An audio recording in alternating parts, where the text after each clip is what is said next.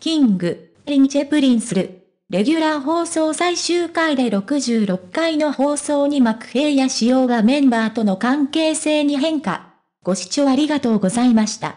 素早く最新情報をもらえるようにチャンネル登録ボタンをよろしくお願いいたします。ありがとうございます。 King & Princeの冠番組日本テレビ系キン、 King & Princeる。毎週土曜13時30分から関東ローカルが13日レギュラー放送の最終回を迎えた。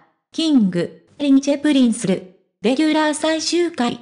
同番組は同日の放送をもってレギュラー放送が終了。20日には番組初となるゴールデン2時間スペシャルが放送されることが決まっている。今回の放送ではこれまで全66回放送された番組の名場面を表彰する、キンプルデミー賞を開催。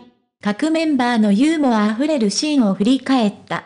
放送の最後には、永瀬廉が、本当に個性が出ていた。めちゃくちゃおもろいっすね。僕ら5人って、と満足げにコメント。平野紫耀は、何よりも、この、 King & Princeる。でメンバー間の仲が前よりも良くなったんじゃないかなっていうのもあって感謝しかないです。と実際の関係性にも変化があったことを明かしていた。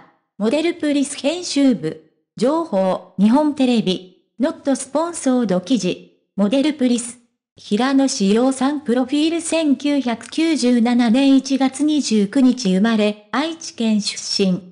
圧倒的なセンスのダンススキルや歌声を持つ一方、チャーミングな発言とのギャップで多くのファンを魅了する。ご視聴ありがとうございました。これからも一緒に応援していきましょうね。チャンネル登録をよろしくお願いいたします。